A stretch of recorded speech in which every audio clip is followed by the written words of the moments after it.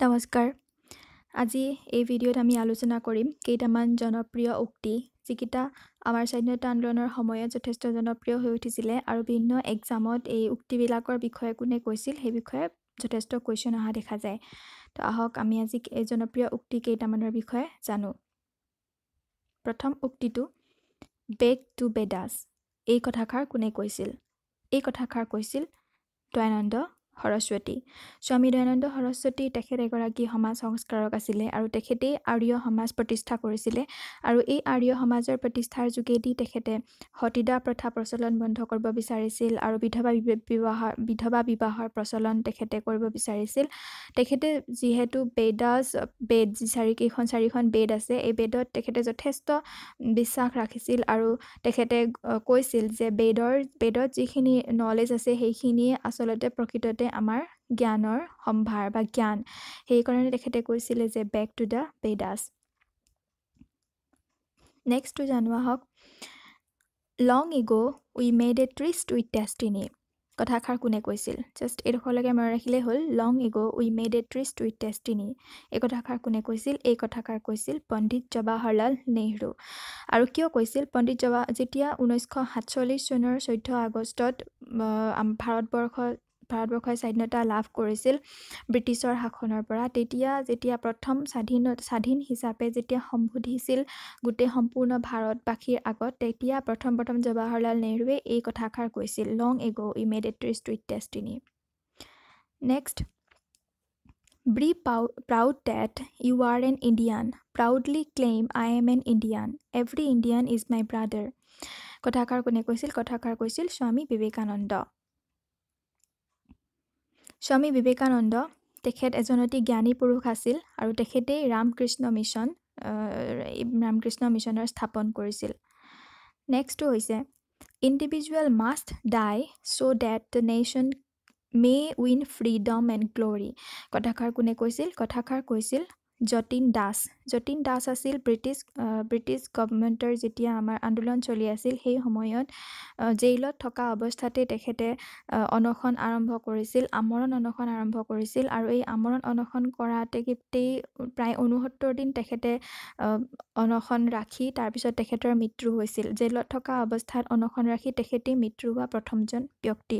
আৰু তেখেতেই সেই সময়ত জেইলত থকা সময়ত সেই সময়ত যোন ব্ৰিটিছ গভৰ্ণৰ তেখেতলৈ এই কথাষাৰ লিখিছিল যে individual must die so' that the nation may win freedom and glory নেক্সটটো হৈছে comrades soldiers let us our battle cry be to Delhi to Delhi কথাষাৰ কোনে কৈছিল? বা দেলহি চলো বুলিও কোৱা হয়। সেই কথাষাৰ কৈছিল সুভাষ চন্দ্ৰ বোছ সুভাষ চন্দ্ৰ বসুৱে যেতিয়া আমাৰ ইণ্ডিয়ান নেশ্যনেল আৰ্মি গঠন কৰিছিল নাইনটিন ফৰ্টি টুত আৰু ভাৰতৰ কুইট ইণ্ডিয়া মুভমেণ্ট বা স্বাধীন ভাৰত ত্যাগ আন্দোলনত যেতিয়া অংশগ্ৰহণ কৰিছিল তেতিয়া এই কথাষাৰ কৈছিল টু দেলহি টু দেলহি। নেক্সটটো হৈছে Nehru is a patriot while Jinnah is a politician. কথাষাৰ অতি গুৰুত্বপূৰ্ণ কথাষাৰ কোনে কৈছিল? কথাষাৰ কৈছিল ছাৰ মহম্মদ ইকবাল। ছাৰ মহম্মদ ইকবালে কৈছিল Nehru is a patriot while Jinnah is a politician কিন্তু ছাৰ মহম্মদ ইকবালেই হৈছে ইকবালে ইকবালে প্ৰথম প্ৰথম ডিমাণ্ড কৰিছিলে এখন ছেপাৰেট ষ্টেট ফৰ মুছলিমছ। মুছলিমবিলাকৰ কাৰণে এখন ছেপাৰেট ষ্টেট লাগে বুলি কৈছিল। তেখেতে ষ্টেটৰ কথা কৈছিল ইণ্ডিয়াৰ ভিতৰতে। আৰু তেখেতে কৈছিল উক্ত কথাষাৰ। নেক্সটটো হৈছে none will believe that a man like this body and soul ever walked on this earth কথাষাৰ কোনে কৈছিল? কথাষাৰ কৈছিল এলবাৰ্ট আইনষ্টাইন। এলবাৰ্ট আইনষ্টাইনে কৈছিল আৰু কাক কৈছিল? মহাত্মা গান্ধীক যেতিয়া হত্যা কৰা হৈছিল মহাত্মা গান্ধীৰ যেতিয়া মৃত্যু হৈছিল তেতিয়া এই কথাষাৰ কৈছিল যে কোনোৱে বিশ্বাস নকৰিব যে এনেকুৱা এজন মানুহেও পৃথিৱীত এনে এনেকুৱা এটা শৰীৰ এনেকুৱা এটা আত্মা লৈ এজন মানুহে পৃথিৱীত খোজ কাঢ়িছিলে বা খোজ দিছিলে। নেক্সটটো হৈছে ইনকলাব জিন্দাবাদ। এই কথাষাৰ কোনে কৈছিল? ইনকলাব জিন্দাবাদ কথাষাৰ কৈছিল হচৰত মহানী। হচৰত মহানীয়ে প্ৰথম কথাষাৰ মানে ষ্টাৰ্ট কৰিছিলে ইনকলাব জিন্দাবাদ কিন্তু ইয়াক পপুলাৰাইজ কৰিছিলে জনপ্ৰিয় বেছি জনপ্ৰিয় কৰি তুলিছিলে কোনে? হৈছে ভগত সিং। তো গতিকে দুইটা দুইটা অপশ্যন কোনোবা কোনোবা বেলেগ বেলেগ কুৱেশ্যনত ভগত সিং অপশ্যনত অহা দেখা যায়। যেতিয়া ভগত সিং আহিব আৰু হচৰত মহানী নাথাকে তেতিয়া আমি ভগত সিং অপশ্যনত দিব লাগিব। আৰু যদি হচৰত মহানী থাকে তো কথাটো হচৰত মহানীত অপশ্যন দিব লাগিব। নেক্সট হৈছে the Buddha. The Ramayana and the Mahabharata are the three treasures of India. If India forgets them, India will not be India. কথাষাৰ কোনে কৈছিলে কথাষাৰ কৈছিলে স্বামী বিবেকানন্দ বিবেকানন্দই কৈছিলে next cowardice and ahimsa do not go' together any more than water and fire কথাষাৰ কোনে কৈছিলে? অহিংসাৰ লগত জড়িত আছে যেতিয়া কথাষাৰ নিশ্চয় কোনে ক'ব লাগিব? জাতিৰ পিতা মহাত্মা গান্ধী। মহাত্মা গান্ধীয়ে কৈছিলে cowardice and ahimsa do not go' together any more than water and fire next the light has gone out of our life আমাৰ জীৱনৰ পৰা পোহৰেই নাইকিয়া হৈ গ'ল। পোহৰ গুচি গ'ল। কথাষাৰ কোনে কাক কৈছিল? কথাষাৰ কৈছিল জৱাহৰলাল নেহৰুৱে। আৰু যেতিয়া মহাত্মা গান্ধীৰ মৃত্যু হৈছিল তেতিয়া কথাষাৰ তেখেতৰ মৃত্যুক লৈ কথাষাৰ কোৱা হৈছিল। Give me blood I will give you freedom এইটো এটি বহুত জনপ্ৰিয় এটা শ্লোগান। কথাষাৰ কোনে কৈছিল? বাল গংগাধৰ অ' চৰি সুভাষ চন্দ্ৰ বোস। সুভাষ চন্দ্ৰ বোসে কৈছিলে give me blood I will give you freedom জয় জৱান জয় কিষাণ কথাষাৰ কোনে জয় জৱান জয় কিষাণ কথাষাৰ উক্তি ফাঁকি হ'ল Lal Bahadur Shastri. India for Indians Bharat কেৱল ভাৰতবাসীৰ বাবে কথাষাৰ কৈছিল দয়ানন্দ সৰস্বতী। নেক্সটটো হৈছে at the stroke of midnight when the world sleeps India will awake to life and freedom কথাষাৰ কোনে কৈছিল? এই কথাষাৰ কৈছিল জৱাহৰলাল নেহৰুৱে। যেতিয়া গোটেই পৃথিৱী শুই থাকিব তেতিয়া ভাৰতবাসী জাগি থাকিব লাইফ আৰু ফ্ৰীডমৰ কাৰণে। ডু অৰ ডাই কৰিম কিম্বা মৰিম। এই কথাষাৰ ঊনৈছশ বিয়াল্লিছ চনৰ যেতিয়া ভাৰত ত্যাগ আন্দোলন ভাৰত ত্যাগ আন্দোলনৰ মূল উক্তি আছিল ডু অৰ ডাই কথাষাৰ দিছিলে মহাত্মা গান্ধীয়ে। নেক্সট হৈছে political freedom is the breath of a nation কথাষাৰ কৈছিল অৰবিন্দ ঘোষ। ইয়াৰ পিছত হ'ল ডিভাইড এণ্ড কুইট ডিভাইড আৰু কুইট কথাষাৰ কোনে কৈছিল? এশ কৈছিল জিন্না চাহাবে। যিহেতু ডিভাইডৰ কথা আহিছে জিন্না চাহাবেই আছিল যি ভাৰত আৰু পাকিস্তান ডিভাইড কৰাৰ মূল মানুহজন আৰু তেখেতেই কৈছিলে এই কথাষাৰ ডিভাইড এণ্ড কুইট ব্ৰিটিছসকলক কৈছিল। নেক্সট হৈছে swaraj is my birthright and I shall have it এই কথাষাৰ এইটো এটা অতি জনপ্ৰিয়। সকলোৱে জানে নিশ্চয় কথাষাৰ। এই কথাষাৰ কৈছিল Bal Gangadhar তিলকে। Swaraj is my birthright and I shall have it next হৈছে চাইমন গ' বেক যেতিয়া ঊনৈছশ আঠাইছ চনত চাইমন চাইমন কমিশ্যনে ভাৰতত আহিছিল তেতিয়া ভাৰতবাসীয়ে সম্পূৰ্ণ প্ৰতিবাদ কৰিছিল চাইমন কমিশ্যনৰ আৰু এই প্ৰতিবাদৰ মূল মূল নেতৃত্ব কোনে লৈছিল? মূল নেতৃত্ব মূল নেতৃত্ব লৈছিল লালা লাজপত ৰায় আৰু তেখেতেই এই চাইমন গ' বেক শ্লোগানটো দিছিল। আৰু এই এই আন্দোলনতে তেখেতৰ কি হৈছিল?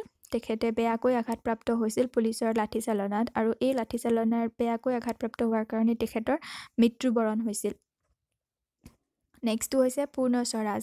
পূৰ্ণ স্বৰাজ যেতিয়া ঊনৈছশ চল্লিছ চনৰ যিটো ইণ্ডিয়ান নেশ্যনেল কংগ্ৰেছৰ যিটো সভা তাতে পূৰ্ণ স্বৰাজটো লোৱা হৈছিল উত্থাপিত কৰা হৈছিল আৰু কোনে কৰিছিলে এইটো? জৱাহৰলাল নেহৰু। নেক্সট হৈছে a safety valve for the escape of great and growing forces generated by our own actions was urgently needed ইয়াতে কৈছিল যে আমাৰ এটা ভাৰতবাসীৰ যিটো উঠি অহা যিটো শক্তি এই শক্তিটো কণ্ট্ৰল কৰিবৰ কাৰণে আমাক এটা ছেল্ফ ছেফটি ভাল্ভৰ দৰকাৰ হৈছে। আৰু এই কথাষাৰ কোনে কৈছিল? এই কথাষাৰ কৈছিল A O' Hume. O' Hume এজন চিভিল ছাৰ্ভেণ্ট আছিলে এক্স চিভিল ছাৰ্ভেণ্ট। আৰু তেখেতে তেখেতেই আছিল মূল মানুহ যিজনে ওঠৰশ পঁচাশী চনত ভাৰতৰ Indian National Congress Indian National Congress স্থাপন কৰাৰ মূল মানুহজন। আৰু এই কথাষাৰ ইণ্ডিয়ান নেশ্যনেল কংগ্ৰেছ স্থাপনৰ কাৰণেই কোৱা হৈছিল। ইয়াৰ ফলতে ইণ্ডিয়ান নেশ্যনেল কংগ্ৰেছ স্থাপন হৈছিল। As a safety valve. এইখিনিতে মই সেইসকল মানুহ যিসকলে চেনেলটোত নতুনকৈ ভিডিঅ'টো চাইছে মই তেওঁলোকক কাটৰ অনুৰোধ জনাইছোঁ যে ভিডিঅ'টো চেনেলটো যাতে আপোনালোকে ছাবস্ক্ৰাইব কৰে আৰু যদি ভিডিঅ'টো ভাল পাইছে তেতিয়াহ'লে লাইক কৰিব। আপোনালোকৰ লাইক আৰু ছাবস্ক্ৰাইবে যথেষ্ট মোক উৎসাহিত কৰে নতুন নতুন ভিডিঅ' বনাবৰ কাৰণে। আৰু আৰু কমেণ্ট কৰিব যদি কিবা ইম্প্ৰুভ কৰিব দৰকাৰ আছে তেতিয়াহ'লে আপোনালোকে কমেণ্ট কৰি নিশ্চয় জনাব। মই তাৰ কাৰণে বাট চাই আছোঁ। এতিয়া আহক কেইখনমান বুকছ আৰু নিউজ পেপাৰৰ বিষয়ে জানো। সেই সময়ত বহুতকেইখন কিতাপ আৰু কিতাপ আৰু বাতৰি কাকতৰ প্ৰকাশ হৈছিল। তো প্ৰথম প্ৰথমখন আহক জানো new lamp for old new lamp for old কিতাপখন কোনে লিখিছিল? কিতাপখন লিখিছিল অৰবিন্দ ঘোষ। অৰবিন্দ ঘোষ ঘোষৰ আমি অলৰেডি এটা ফেমাছ উক্তি পাই আহিছোঁ। আৰু তেখেতে লিখিছিলে নিউ লেম্প ফৰ অ'ল্ড ইয়াৰ পিছতে আহিল মুকনায়ক আৰু বহিষ্কৃত ভাৰত। এই দুখন কোনে লিখিছিল? এই দুখন লিখিছিল B R Ambedkar. B R আম্বেদকাৰে দলিতসকলৰ বাবে যথেষ্ট কাম কৰি থৈ গৈছে। তেখেত নিজেও এজন দলিতসকলৰ পৰা বিলং কৰে আৰু তেওঁৱেই লিখিছিল এই মুকনায়ক আৰু বহিষ্কৃত ভাৰত। আমি নাম দুটাৰ পৰাই আমি আমি গম পাব পাৰোঁ যে এই দুখন কিতাপ সেই দলিতসকলৰ কাৰণেই লিখা বা তেওঁলোককে ৰিপ্ৰেজেণ্ট কৰি লিখা। নেক্সট আনন্দমঠ এইখনো এখন অতি জনপ্ৰিয় বাতৰি কাকত আছিলে আৰু এওঁ কোনে লিখিছিলে? P C Chatterjee. নেক্সট হৈছে discovery of India discovery of India লিখিছিল জৱাহৰলাল নেহৰুৱে আৰু ইয়াতে ভাৰতৰ বিভিন্ন সংস্কৃতি বিভিন্ন ৰকম বিভিন্ন ধৰণৰ জাতীয় সংস্কৃতি বাৰে বাৰে বৰণীয়া সংস্কৃতিৰ কথা ইয়াত লিখা হৈছিল ডিস্কভাৰী অফ ইণ্ডিয়াত নেক্সট চাৰিখন আহিল Navajivan Young India Harijan Indian Opinion. এই গোটেইকেইজন অতি গুৰুত্বপূৰ্ণ গোটেইকেইখন আৰু এইখন লিখিছিল এইকেইখন লিখিছিল কোনে? মহাত্মা গান্ধীয়ে লিখিছিল। আৰু ইয়াৰে যিখন ইণ্ডিয়ান অপিনিয়ন সেইখন তেখেতে ছাউথ আফ্ৰিকাত থাকোঁতেই প্ৰকাশিত। নেক্সট নিউ ইণ্ডিয়া আৰু কমনৱেল্থ। মই এই নিউ ইণ্ডিয়া আৰু য়ং ইণ্ডিয়া এই দুটাৰ মাজত বহুত কনফিউজ লাগে। চ' য়ং ইণ্ডিয়া লিখিছিলে মহাত্মা গান্ধীয়ে আৰু নিউ ইণ্ডিয়া লিখিছিলে কোনে?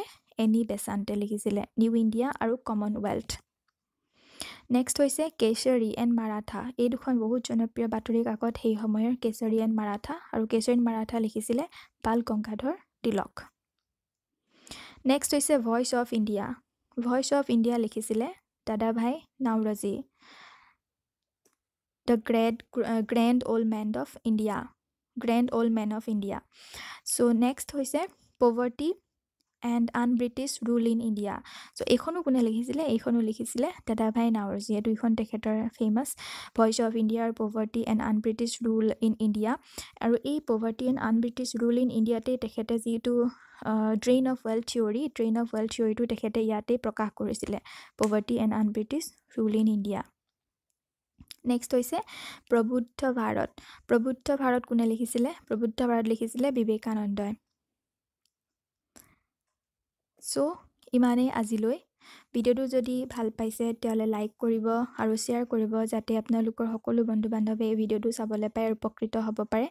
আৰু চেনেলটো ছাবস্ক্ৰাইব কৰিব নাপাহৰিব। তো আকৌ নতুন ভিডিঅ'লৈ লগ পাম। তেতিয়ালৈকে নমস্কাৰ।